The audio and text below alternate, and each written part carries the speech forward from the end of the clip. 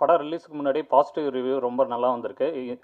எல்லாரும் இந்த படம் வரத்துக்கு முன்னாடி டிவி ரைஸ்லேருந்து எல்லாமே ஒரு பாசிட்டிவ் ரிவ்யூவாக இருக்குது இந்த படம் பெரிய வெற்றி பெறும்.